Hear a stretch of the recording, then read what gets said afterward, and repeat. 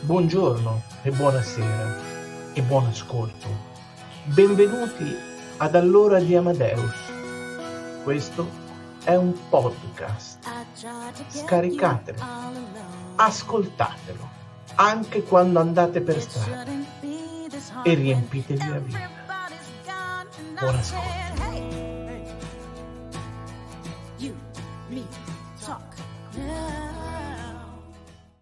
Buonasera, buongiorno amiche amici amadeusiani, dipende dalla latitudine e dalla longitudine in cui vi trovate. Benissimo, ricordatevi di mettere like su 1, 2, 3 stream, ricordatevi di iscrivervi ai nostri canali, anche quelli Amadeus, e anche quelli YouTube, allora di Amadeus, il salotto della Morghi e quelli che eroi.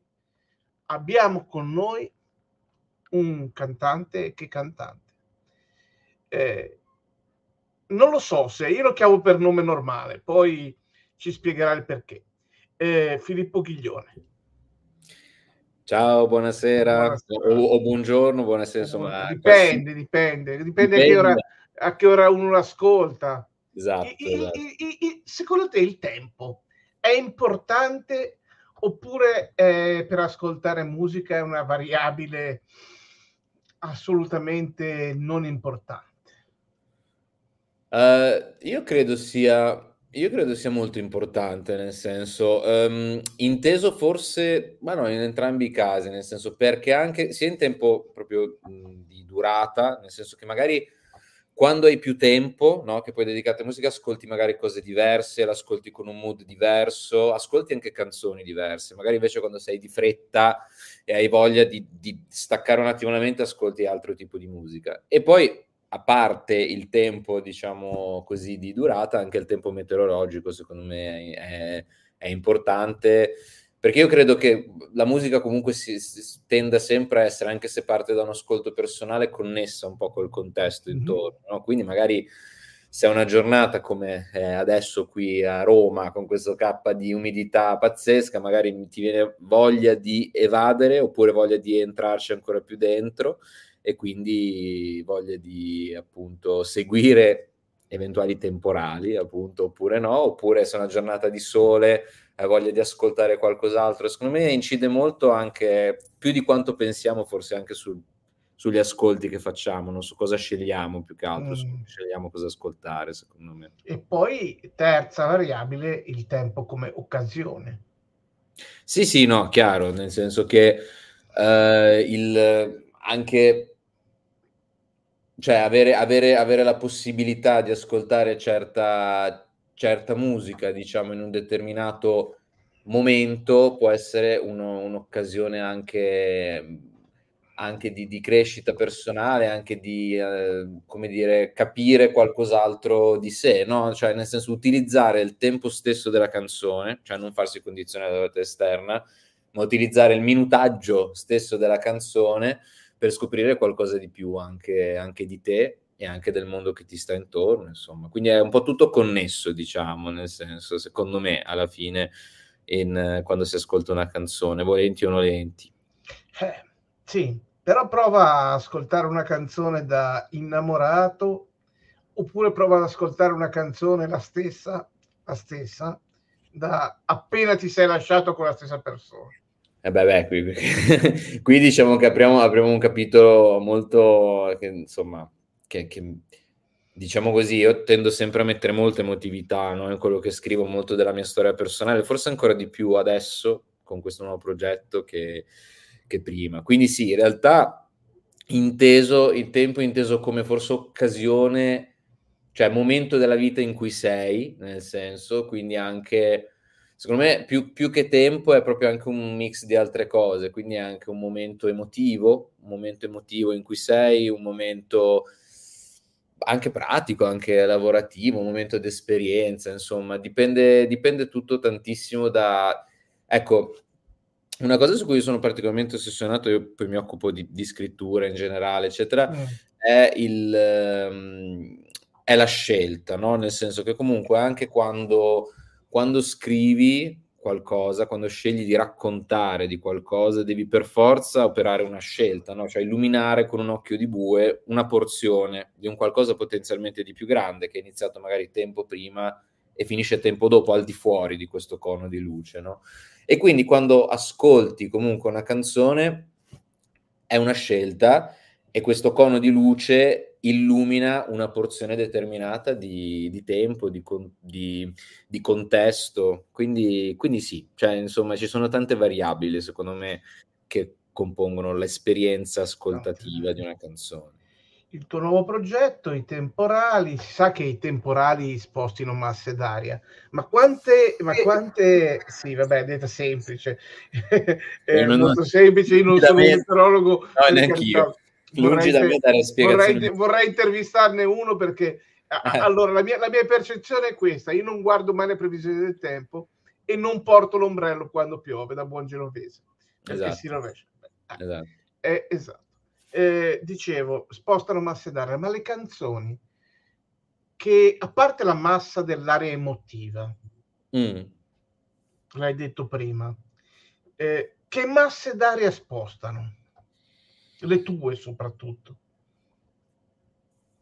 Ma le mie canzoni, eh, parlando di mie canzoni, canzoni in generale, io credo che ci sia sempre uno spostamento che è per forza interiore, che però poi sfocia un po' nell'esteriorità, nel senso che io credo e nell'ultimo periodo, poi negli ultimi concerti che ho fatto, eccetera, anche se questa è una cosa che funziona più quando suoni dal vivo per forza, però la, la, la cosa più importante per me è riuscire a mettere in connessione no? me stesso con le altre persone e le altre persone tra di loro. Mettere in connessione significa spostarle, beh, a parte emotivamente, anche fisicamente, cioè per venire a sentirmi suonare e a provare dal vivo queste, queste cose, ma anche connetterle da un punto di vista di empatia emotiva, cioè semplicemente io canto queste cose per, perché anche tu possa ascoltare quello che ho da dire e se questa cosa risuona anche in te, il pensiero è io non sono solo, cioè tu che ascolti dici ah anch'io sento questa cosa, io non sono solo, non mi sento più solo perché sento qualcun altro che dice questa cosa anche appunto col contesto che dicevamo prima e, e, quello accanto a me sente la stessa cosa e si crea questa specie di connessione emotiva. Quindi parliamo proprio di uno spostamento da questo punto di vista. Poi è chiaro che certe canzoni, determinate canzoni possono creare uno spostamento anche di, di pensiero, anche di pensiero, di pensiero di, una, di vita, di,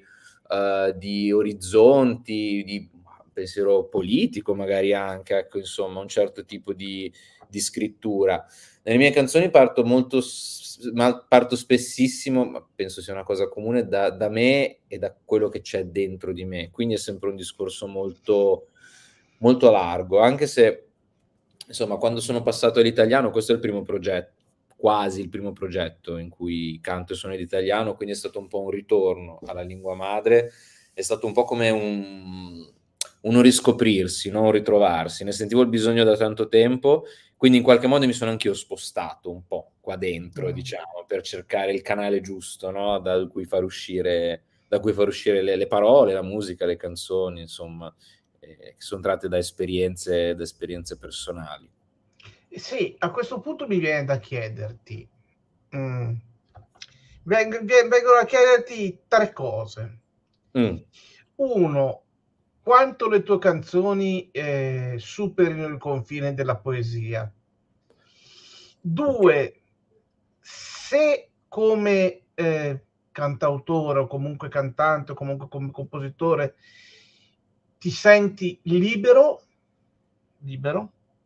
Okay. E tre, eh, quanto una canzone possa essere rivoluzionaria. Perché tu dici parto da me, la generazione dei cantautori eh, precedenti, tu sei a Roma, eh, cioè, hai, una, hai, una, hai una, scuola, una seconda scuola romana con uh, Fabi, Cristicchi, eh, Gazzè, eccetera, eccetera, ma una prima con De Gregori Venditti, il e Bassignano. Eh, Bassignano ti direbbe che la canzone deve essere in qualche modo anche sociale.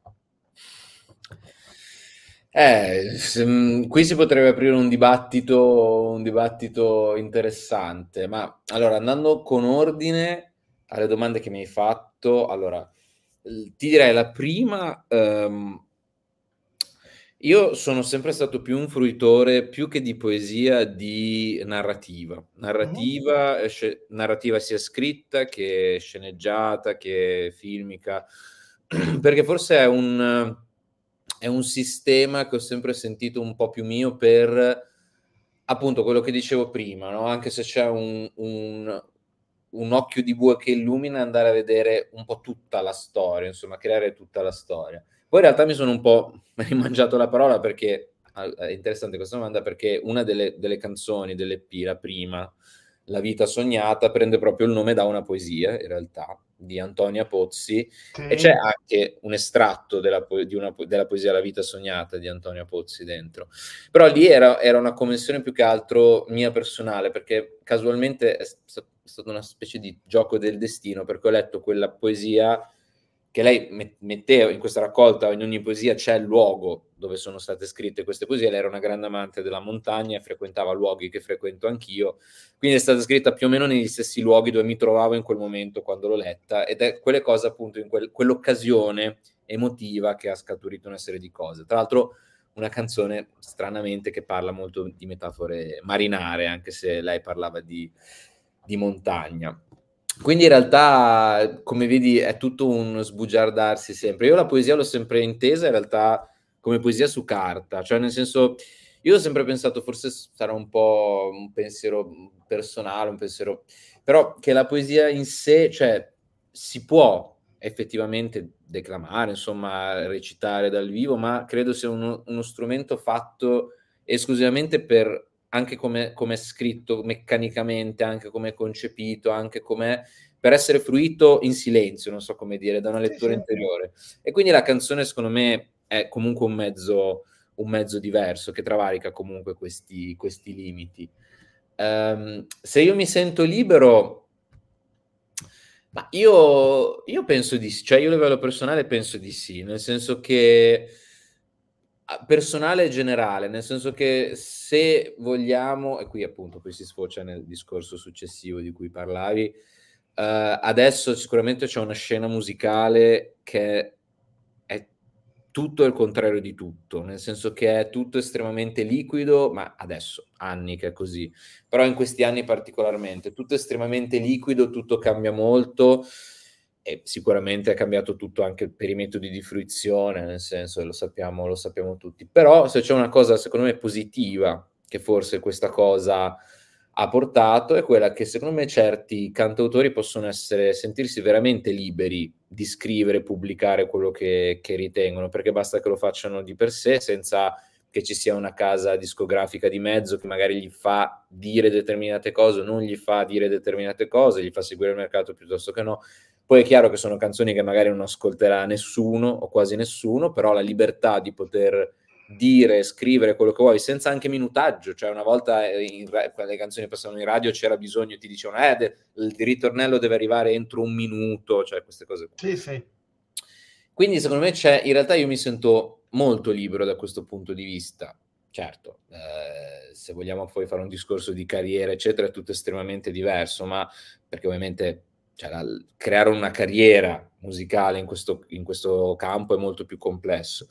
Però, però, a livello di libertà personale, secondo me ci sta.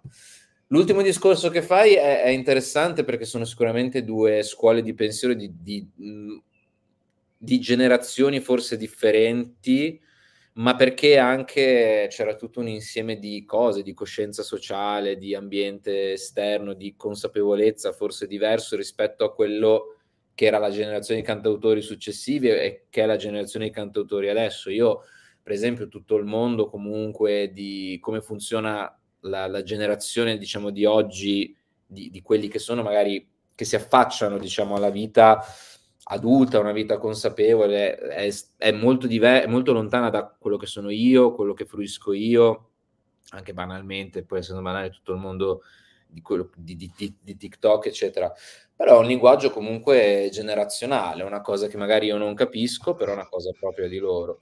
Secondo me, sai, la canzone mh, è vero questa cosa. Cioè, allora, secondo me dire che una canzone deve avere per forza un valore anche sociale può rischiare alle volte di essere un po' riduttivo, nel senso che se è vero da una parte che magari una canzone dovrebbe, secondo me, scuotere più che altro gli animi, che siano gli animi a livello intimo, che siano animi a livello, come dire, eh, più condiviso da tutti, è un conto. Dire che una canzone deve essere esclusivamente così, ci sono certe canzoni che hanno quel determinato significato, quel determinato scopo, forse, che sono state scritte per un determinato bisogno, che però alla fine nasce comunque da un bisogno personale, perché comunque, secondo me, anche nei cantautori che citavi tu prima, ci sono esempi di canzoni che invece magari sono meno a carattere sociale, ma più a carattere intimo, personale, e ci sono cantautori che magari certe tematiche sociali le hanno toccate meno. Quindi anche lì nasce da un bisogno personale dell'autore di ri- rivedersi no? nel, nel, contesto sociale. Quindi mm. è, molto, è, è, molto, personale, secondo me, anche questo discorso, anche, anche, all'epoca. Sicuramente la socialità era qualcosa di più, di più la condivisione, ma anche perché la musica aveva un, me- era un mezzo diverso, cioè posto in un, in un, mon- in un messo in un posto diverso, nel senso rispetto a quello in cui è oggi. E anche qui si potrebbero aprire altri dibattiti. È un bene o un male? Non lo so, è, è così, cioè nel senso... Te lo, te lo ricordi, Bonani, tu che sei ligure? Eh, te lo oh, ricordi questa domanda che no, no. dico no mi, mi no vabbè se, te lo ricordi buonanima di Piccetti quello dello stadio di banchi eh, no, vabbè, sai cosa diceva? Però diceva una cosa saggia. Diceva che eh, le canzoni d'amore sono le più politiche e mm. le canzoni più, eh, più, sociali sono quelle più erotiche, erotiche in senso di eros. Diceva una cosa saggia. È vero, è vero, sì, sì, no, sono d'accordo, ma io sono d'accordo cioè, sul fatto che alla fine, cioè alla fine tutto quello che fai, no, è politico, politico inteso non come una politica, come la, la parola a cui associamo il significato eh, che associamo alla parola, ma politica nel senso di porti, di por- avere una posizione nei confronti mm. della vita, delle cose, del, del, del, de, delle scelte che fai, no? Quindi in realtà ogni scelta è politica. secondo me la cosa interessante è applicare questa politica anche nelle cose che banalmente ti sembrano più lontane da te. Io, per esempio, non lo so, io non, non seguo molto per, per, per, varie ragioni, senso non seguo molto il calcio, ma penso assolutamente che una partita di calcio, quello che rappresenta il contesto, possa rappresentare una cosa estremamente romanticamente politica, diciamo, ecco, in questo sì. senso.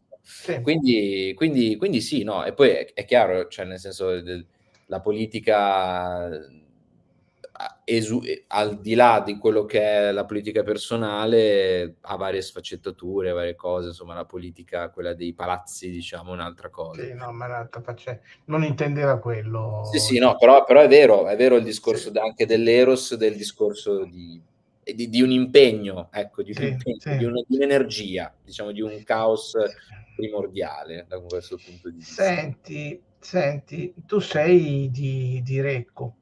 Sì. Eh, quant, eh, ora stai a Roma. Quanto c'è di Recchelino in te? e...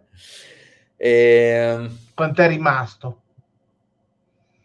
Ma è, devo dire che è rimasto, è rimasto forse molto più adesso, ma credo sia una cosa che succeda, molto più adesso che me ne sono andato, cioè è rimasto oppure è venuto fuori molto di più rispetto a quando, a quando invece vivevo lì. Io ho vissuto sì lì per quasi 30 anni alla fine, poi con una parentesi a Milano e adesso sono a Roma da, da un anno più o meno.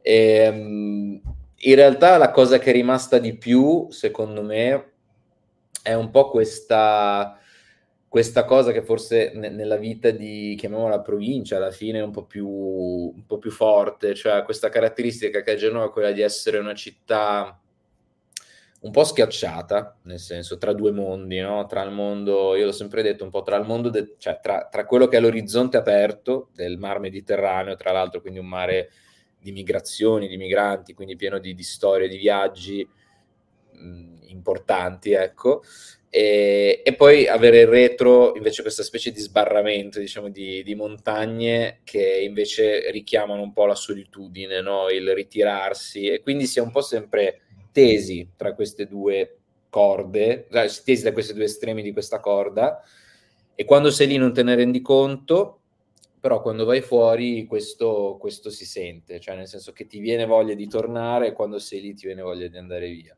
E in particolare poi ci, ci, porta, secondo me, a creare questa specie di scorza protettiva che tutti ta- dicono il classico mugugno, no? che è vero, assolutamente, però secondo me è più un, un, un, nascondere qualcosa, una ricchezza interiore di esperienze, anche di voglia di confrontarsi con l'altro, però di farlo non per il gusto di farlo, cioè per il gusto di avere qualcosa di prezioso da dire all'altro, come se l'altro fosse un archivista no? che ascolta un pezzo di te e questo pezzo di te è talmente conservato bene che quando lo condividi l'altro se lo porta dentro come un archivista per tanto e tanto tempo. Quindi questo mi piace de- di portare de- della mia cittadina di Genova in generale. Una cosa che non mi piace tanto, in realtà lo ammetto, questo spero, di... cioè a me non è mai piaciuto tantissimo il linguaggio, il dialetto, cioè, ma non il dialetto in sé, il modo di parlare genovese con questo appunto strascinamento, no? che certe volte in realtà dipende anche un po' lì dall'occasione, dal mood, però non mi piace sentirmelo addosso. Infatti, devo ammettere che molto spesso qua non mi, non mi associano subito alla Liguria come, come, origine. Anzi, non so perché, forse mia, mia, nonna era di quei posti lì, però dicono tutti a primo acchitto che sembro emiliano nel modo di parlare. E quindi, e quindi forse non rendo onore alla mia, alla mia provenienza mescolandomi insomma con altri, persone provenite da altre parti. Però a parte il discorso del linguaggio, sì, questo, questo è... Della cadenza. Della cadenza, esatto, della, della, della, cocina. della cocina. A parte il discorso della cocina, questo avere questa corazza che rende le esperienze davvero importanti è una cosa che mi piace portare dietro, ecco, insomma. Sì, senti, eh, io sono andato a girare un po' su su YouTube. Sì. Ho trovato un vecchio video. Oddio. No, in cui tu dici che due terrestri con Niccolo Fabi? Sì, sì, è vero, è vero. Sì, sì. sì, sì non, è che, non è che dici delle cose compromettenti. Faresti, no. faresti l'apertura a John Mayer, ma quello ah, sì. lo farei, farei anch'io. Non... sì, diciamo che erano un po' Tra l'altro è un video, ah sì, è un video, me lo ricordo, era un video del 2012 tipo. 2012, sì. Perché poi ero arrivato, ero arrivato, in finale a questo concorso, che avevo anche vinto, tra l'altro, mi avevano fatto questa, esperi- questa intervista. Sì, eh, è vero, ma eh, su, allora, su, John Mayer sicuramente anche ora mi piace ascoltarlo e certi tipi di sonorità mi sono rimaste. All'epoca, poi l'avevo scoperto relativamente da poco, tra l'altro, e quindi ero proprio fissato.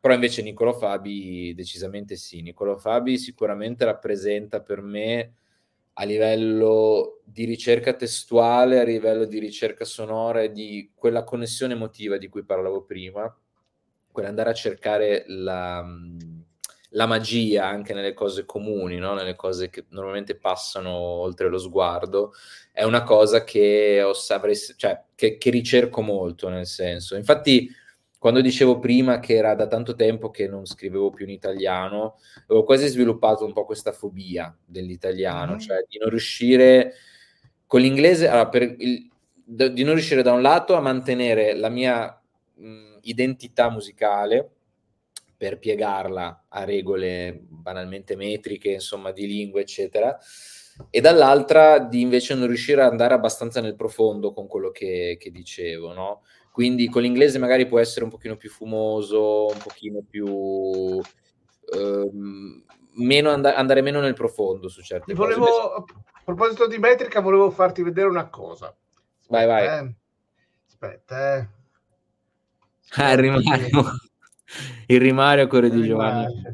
Eh sì. Tra l'altro è interessante perché durante un... Um, durante, vabbè, che apro questa parentesi, durante un, un, camping che avevo fatto per un concorso al CET di Tuscolano, la, praticamente la, il centro di, di, Mogol, avevamo come insegnante Francesco Gazzè, eh, fratello di Max. Il fratello di Max.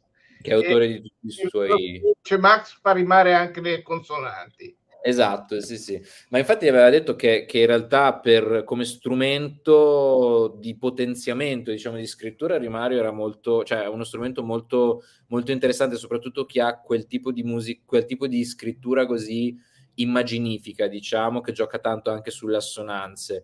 Io mi ricordo che quando me l'aveva detto all'epoca non l'avevo capito, nel senso mi era sembrato quasi un tradimento, ho detto, ah ma come usare il rimario? lui, tipo... lui, lui rima tutto e infatti è, t- è, tipo barare, non lo so, invece, invece, no, cioè nel senso è un, come dire, potenziare un, uno, uno, strumento che è già tuo, no? E, ehm, e no, appunto, ritornando a, a Niccolo Fabi, cioè al discorso dell'italiano, io mi sono aggrappato un po' al suo modo di scrivere, al suo modo di dipingere le cose, di andare dentro le emozioni e complice, diciamo, una piccola te- un piccolo, te- anzi un grande temporale emotivo che è successo, che è quello che ha scatenato diciamo, tutto, questo, tutto questo EP, tutte queste canzoni, a un certo punto l'italiano è venuto, è venuto fuori da sé, cioè la verbosità quasi. Quindi Niccolo Fabi è un cantautore veramente. Tra l'altro, questo sabato c'è il concerto al Circo Massimo di Fabio Silvestri Gazzè per, per i dieci anni del loro del disco, del disco, quello che del disco infatti io sarò lì a vederlo anche perché dieci anni fa ero a, a, di nuovo a Rock in Roma anzi li ho visti tre volte ma a Rock in Roma a vedere la data finale io, quindi... io, che, sono, io che sono un fan di Gazzè eh, eh, l'av- sì. l'avrai capito dal rimario. Sì, eh... sì, infatti, infatti. No, anche, lui, anche lui l'ho visto. Gazzè ha aperto un concerto di Max Gazzè tra l'altro qualche anno fa eh, l'avevo visto dal vivo nel 2013 e poi avevo visto tre concerti di Fabri Silvestri Gazzè e poi avevo aperto un suo concerto nel 2016 al Goa Boa mm-hmm. a Genova uh-huh. e insieme ad altri artisti ho suonato prima ed è stata una bellissima esperienza, una di quelle insomma, che rimangono anche come esperienze in sé. Quindi no, sì sì, anche io, il magico trio è, è seguito con passione anche da me. Senti, io ti farei un'ultima domanda perché sono volati via 27 minuti. Sì, beh, come succede sempre perché sono logorroico, quindi... Sì, ma va bene, va bene, va bene. Senti, eh, anzi due. Hai parlato, hai parlato di, di, film. Se tu dovessi dare un, il titolo di un film a, a, al tuo percorso musicale, che, che titolo daresti? Mm.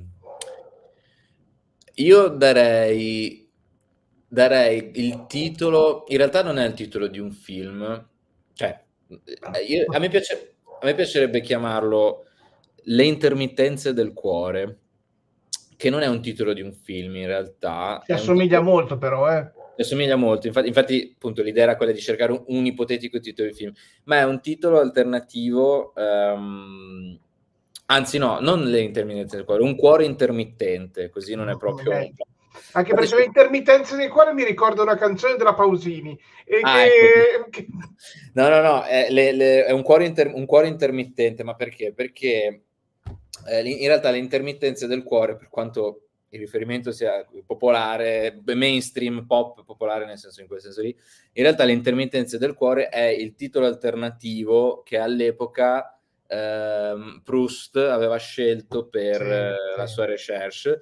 Sì, non, so se, non, so se, il, il, primo, il, primo, dei sette volumi oppure su, per il titolo generale della recherche ed era un titolo sicuramente che sviava un po', secondo me, da, da, dall'idea di opera che aveva perché era un pochino più molto interno, però mi, mi, mi ha colpito, diciamo, questo questi salti, no? queste intermittenze cuore, come se per qualche secondo, diciamo, il cuore non rispondesse più e tu devi dargli un bit per andare avanti e quindi avere un cuore intermittente significa avere un, un, cuore che è costantemente alla ricerca di cose con cui essere riempito. Quindi un cuore intermittente mi sembra un titolo azzeccato.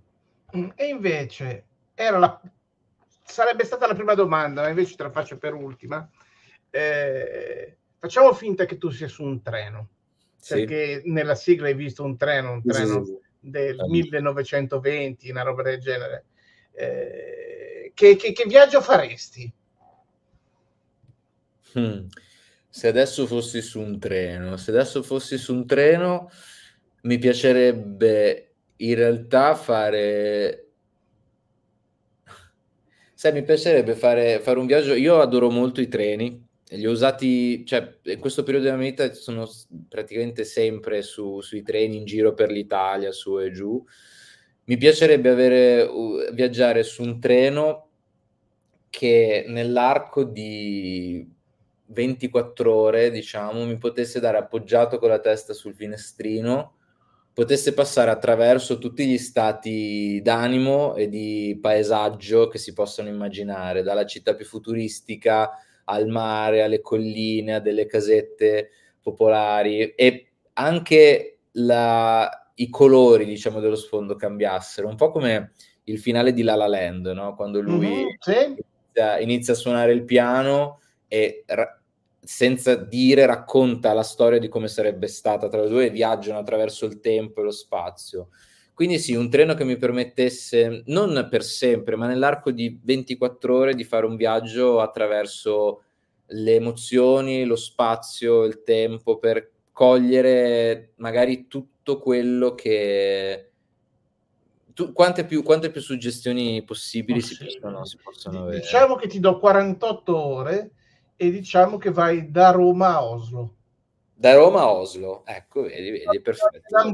Ma allora, allora, il viaggio Roma-Oslo sarà, sarà, un giorno prenderò il biglietto Roma-Oslo e mi immaginerò appoggiato al finestrino. Eh, ma le, le, le, i vari paesaggi li vedi tutti. Eh, infatti, infatti, perfetto. Allora, grazie per il suggerimento. Allora lo prenderò prima o poi nella vita, lo, lo farò assolutamente. Bene, noi ringraziamo uh, Filippo Ghiglione, i temporali, mm. e gli diamo, diamo appuntamento alla prossima occasione. Grazie mille davvero Luca, grazie a tutti e a tutti, è stato un piacere. Sigla. Buonasera, buongiorno. Avete ascoltato un podcast di Allora di Amadeus. Alla prossima occasione.